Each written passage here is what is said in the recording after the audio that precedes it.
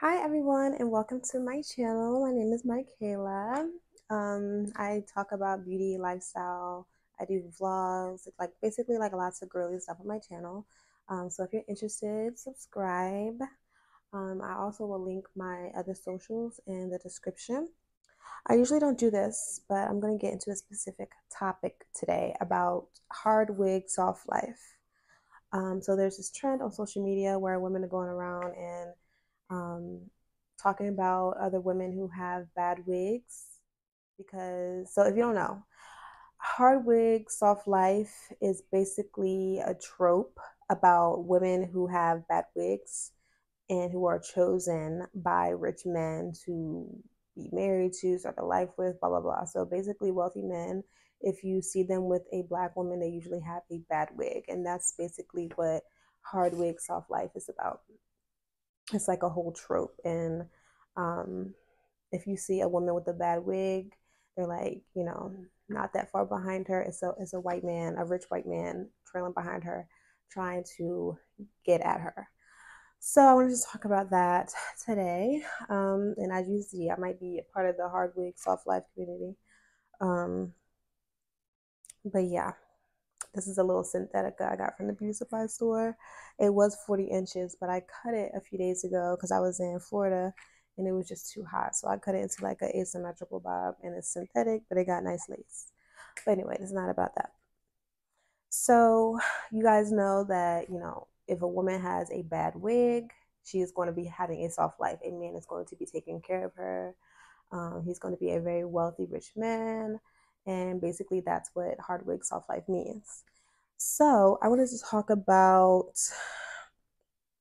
kind of like how I don't really like that because, first of all, I see women um, getting like kind of harassed on social media, like other women going on their page and, and seeing how their man is taking care of them and, and seeing how their man is um, providing for them and how she's with a wealthy or rich man.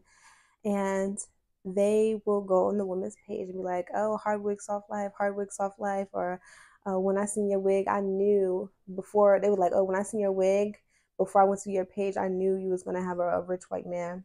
And it's just not necessary to say all that. Like, that's like damaging people's self esteem. Like, they could have put that wig on and thought they looked good.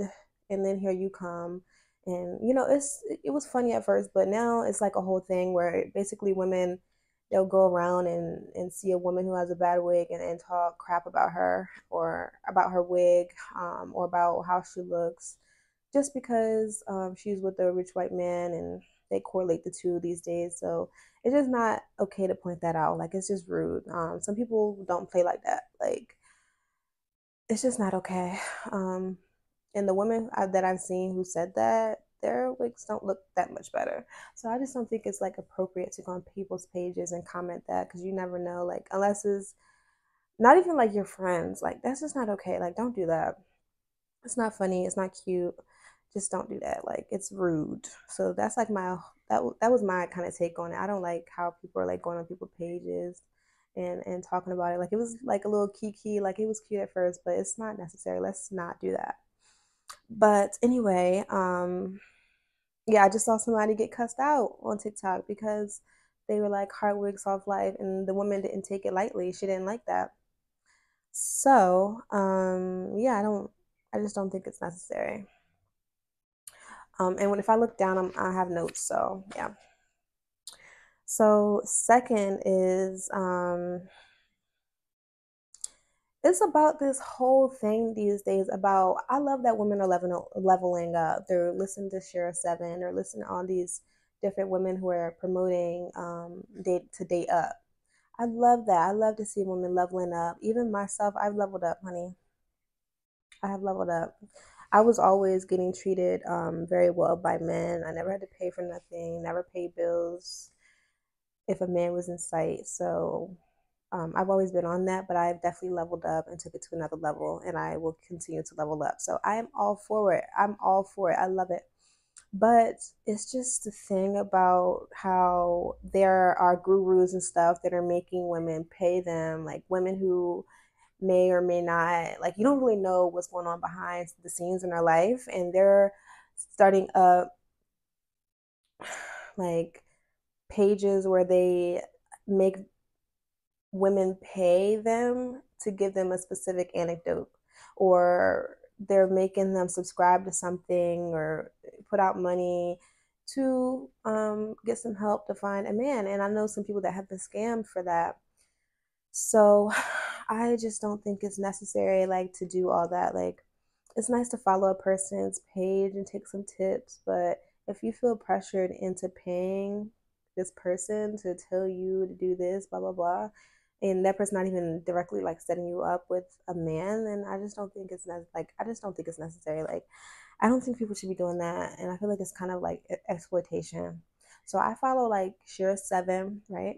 And she has a Patreon, and she has um she has a YouTube channel that she posts on like almost like weekly. Like she posts on there, she'll go live, she'll talk to you guys, answer questions.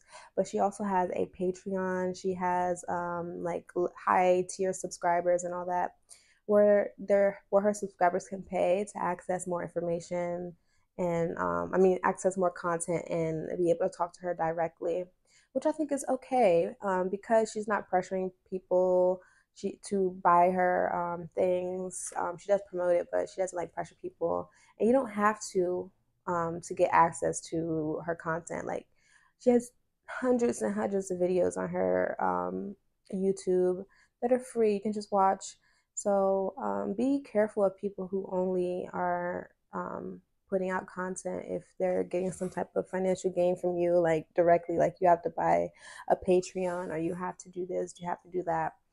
So be wary of that. Um, and also, I wanted to say that stop making these women feel like you got to do too much to go find a, a rich man or to go find a man, period. Like you are a woman, you are the prize. You are the prize. He is supposed to come find you.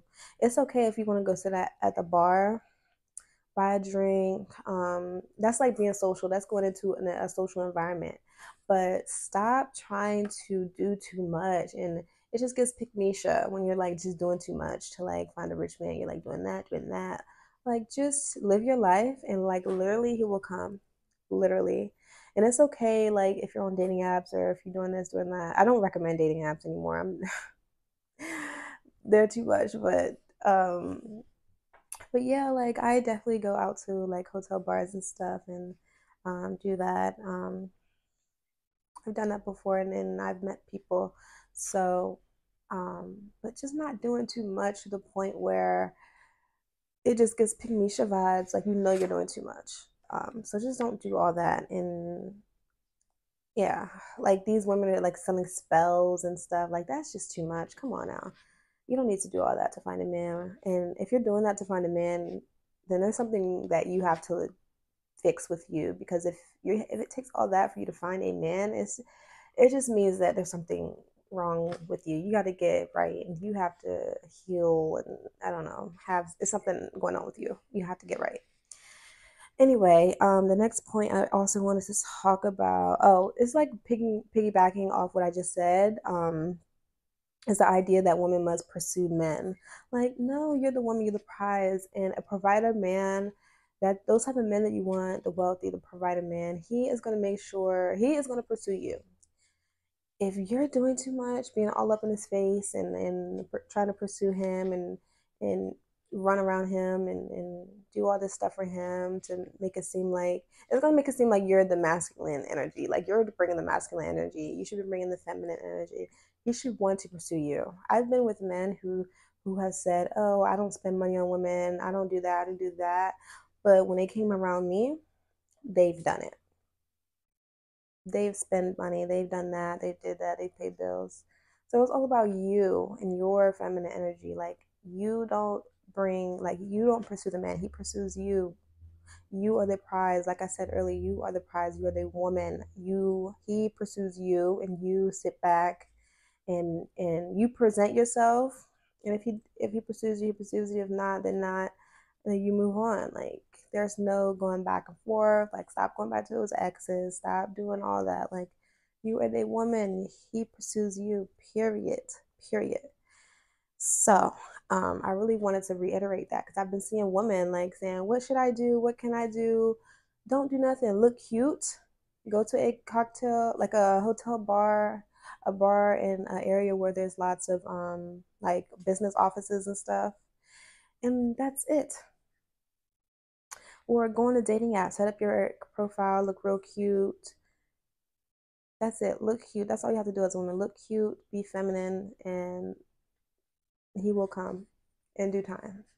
And it's not like such a quick fix. Like it's not just such a quick thing that's gonna happen. Like some t- some days it might be like someday it might be but not all the time sometimes you'll go to that hotel bar and not meet anyone because it's, it's a slow day or it's you know not anyone going out or whatever so yeah you don't pursue men they pursue you stop doing that it's giving pygmalicia so um another thing that i wanted to talk about was why wealthy men don't like bust downs this go this goes back to the hard wig thing.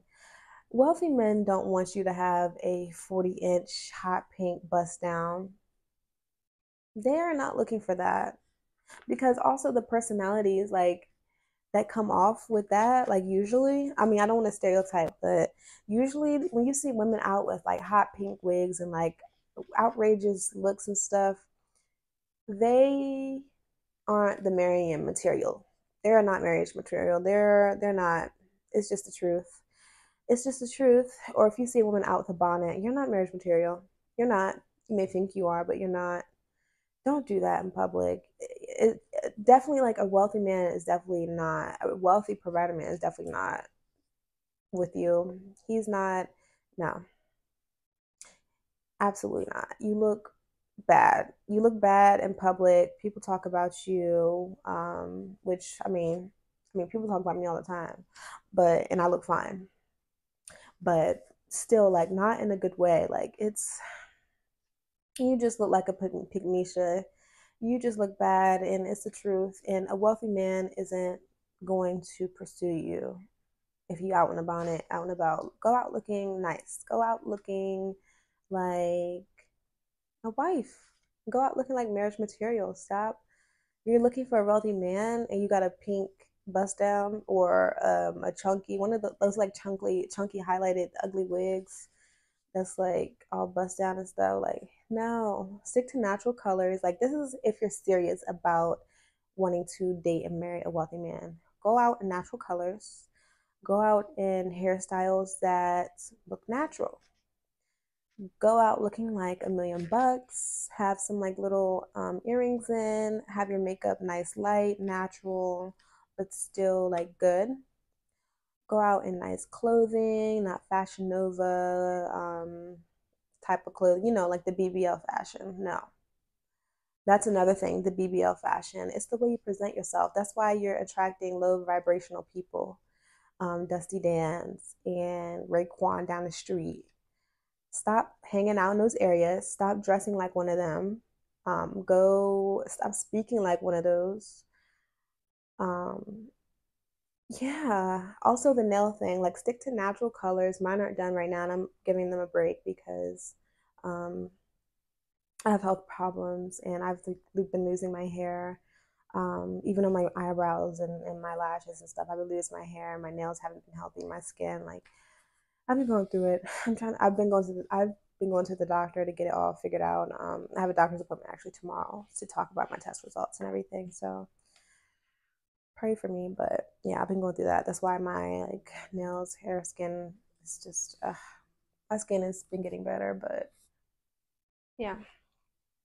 But anyway, um, yeah, like dress the part. Like if you see when you see like a, a wealthy um, housewife she is not in a pink bust down. She is not out in BBL fashion. She doesn't even have a BBL.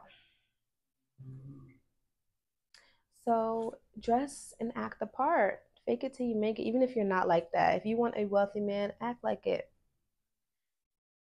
So yeah, guys, um, that's all I really wanted to talk about. Um, is the hard wig soft life how it could be like damaging to women when you're comment commenting that on their pages it's not cute it's not funny some people don't take it lightly um, some people aren't gonna laugh about it so um, yeah that's all I wanted to talk about.